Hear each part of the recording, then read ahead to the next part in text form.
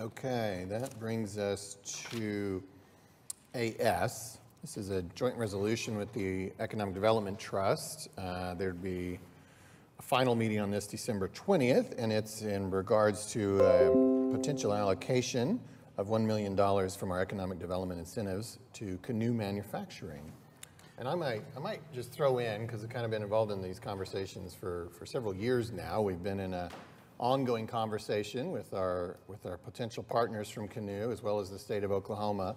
And um, it recently evolved in a way that you'll hear about today, but it's, a, it's an exciting uh, potential opportunity for the city. But we've been talking through this stuff uh, now really for at least two or three years, I think, um, about the potential for Canoo's presence in this region. And in early goings, it appeared Oklahoma City would not have as big of a role as we might have hoped, but that has recently changed, and that's why we're here today. So, Mr. City Manager? Yeah, so Jeff Seymour with the Greater Oklahoma City Chamber of Commerce is here, and he's going to give us an introduction here. Chris Moore with Canoo is here to talk about the project and uh, the vision that they have for the projects out to the west part of the city. Well, good morning, uh, Council. I really couldn't give a better introduction than the one the Mayor just gave, which is that we've been in conversations with this company for multiple years, thinking about different iterations and ways that uh, the company could have a physical presence um, in uh, the Oklahoma City metro area. Um, as the company iterated on different ideas, um, we were pleased that we stayed in constant conversation with him and were able to think about the opportunity to take an existing facility, which had lost in large part its manufacturing tenant, and reuse it uh, for a next generation manufacturing facility. And so I'm pleased that Chris Moore, Vice President of Canoo, is here to talk about that um, proposal with you. Um, I would say out loud that um, when we think about incentives for companies like this and the way your uh, strategic incentive program is structured, it is performance based. So it does require that the company meet performance metrics, including jobs, employment, hiring, and capital investment. And then we pay out um, on a structured basis, uh, performance-based incentives back to them as a rebate. So uh, we're pleased that Chris is here. We're excited about this project and excited about the potential to add manufacturing investment um, in a portion of, of Oklahoma City that has long been a manufacturing hub. So with that, I'll introduce Chris. Thank you.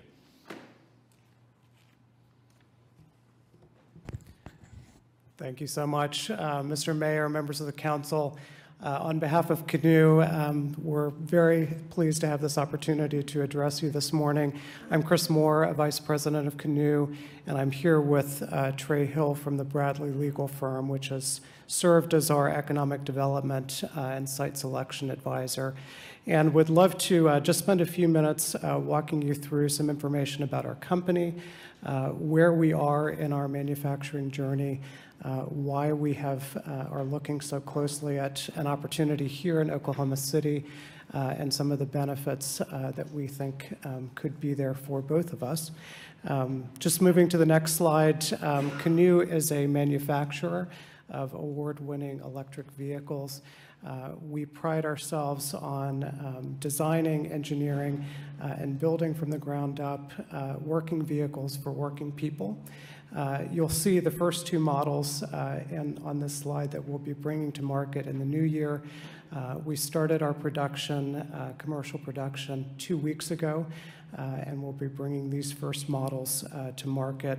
one is a delivery van, the other is a passenger version of that same vehicle. we're very pleased that we've received a strong positive reaction in the marketplace. Uh, over the last few months, we've announced major orders uh, with Walmart, uh, with major vehicle leasing companies. Uh, we have also begun our journey uh, to supply vehicles to the federal government. Canoo was selected by NASA to provide the vehicles that will transport uh, U.S. astronauts to the launch pad for future Artemis moon missions. And we delivered our first vehicle to the U.S. Army um, uh, just uh, last week in Michigan. Moving to the next slide, um, just a little bit about our manufacturing journey. Canoo is currently in uh, phase one of that journey, which you'll see on the far left side of this slide. Uh, we're uh, working with a contract manufacturer uh, to build our initial run of vehicles. We've previously announced our phase three manufacturing plans, which you see on the far right of the slide. Uh, we will build our main factory uh, here in Oklahoma, out in uh, Mayes County in northeast uh, part of the state.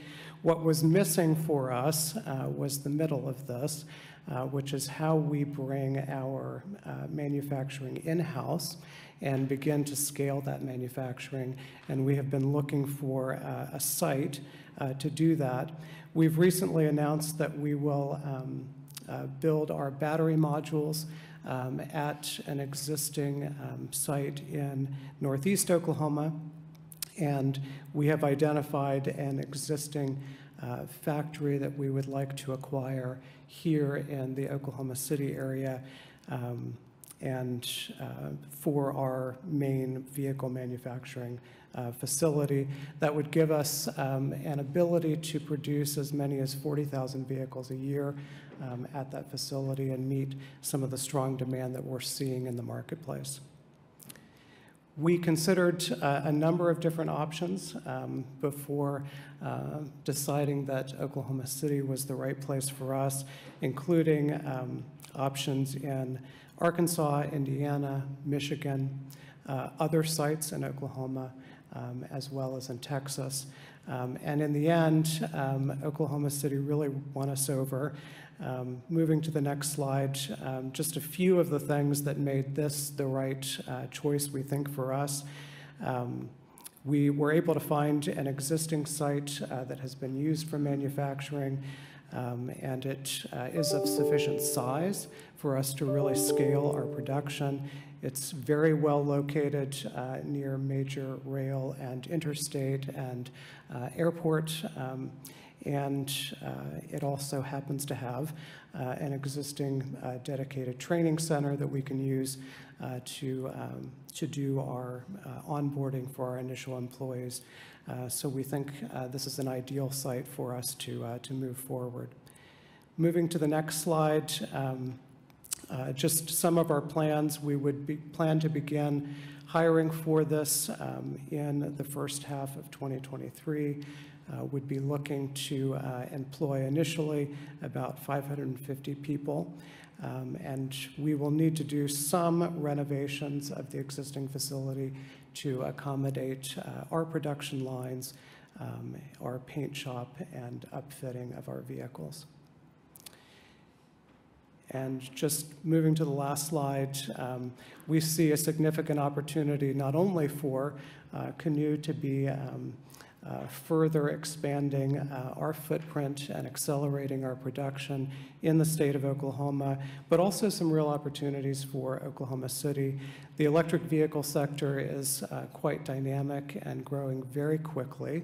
Uh, And this, uh, we think, is an excellent opportunity for Oklahoma City to, to get involved in this sector and at an early stage uh, when the city can realize um, uh, much of the growth that will occur here. Uh, Bringing in an uh, equipment manufacturer, a final assembler of vehicles, also gives the opportunity to attract some of our suppliers uh, to the city as well uh, and further contribute to um, the increasing diversity of the, the region's economy. We're very um, focused on uh, some of the um, workforce development opportunities that we see here. A lot of great partners uh, in Oklahoma City that we can work with already, um, but really looking forward to, uh, to rolling up our sleeves and being a part of uh, how we can help to train the workforce here uh, that we will need uh, and that other industries will need uh, here as well. So, um, Mr. Mayor, I'll conclude there, but very happy to answer any questions from the council. Okay, any questions for Chris? I have a couple questions. First, thank you for the presentation. Uh, One question, do we know exactly in the area where this uh, facility will be located? The, uh, the location of the facility, um, yes, we do. Um, It's an existing factory off of Interstate 40. Um, We can provide the, the exact address to you. Um, You can't do that now? um, I don't have it in front of me, at- but it's, It's at- basically at I-40 and Morgan Road. It's a former Terex that they're vacating that property. It's in its existing facility out there at I-40 and Morgan Road. Okay, thank you for that. Uh, My second question, I saw we're trying to bring and working to bring about 550 jobs uh, to Oklahoma City. Uh, This is not a new ask. I ask this every time we have different companies and manufacturers come.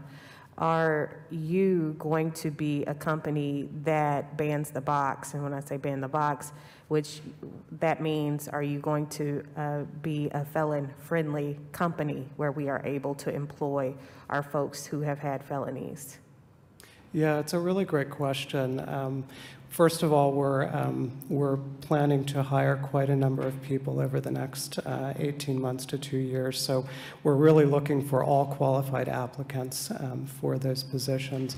And um, for us, um, uh, second chances um, are very important. Um, and we would love to, uh, to work with you, with others, to see how there might be opportunities to, uh, to, um, to look at um, some of the ways that we can um, help in that um, regard as well. So absolutely um, open to, um, uh, to, to looking at that and to, uh, to opportunities to bring those uh, workers into our workforce as well.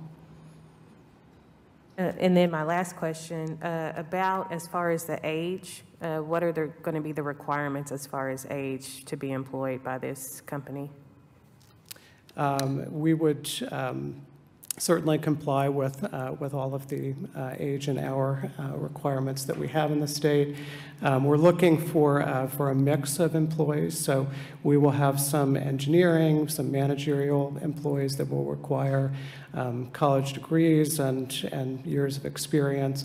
We also will be um, working um, to, um, the bulk of our employees will be uh, factory floor workers. Um, We'll we'll be seeking to uh, employ uh, skilled workers, but also we'd like to be involved in uh, how we begin to train the workforce that we need. Um, And so um, we'll be looking at um, opportunities to engage with STEM programs at the high school level, but also at the community college level. Okay, and I apologize, this is my last question. Um, What will be the starting salary and/or hourly wage? So we've, um, we've um, computed an average hourly wage, um, or, or average annual wage of around 71,000 um, for our employees at the site.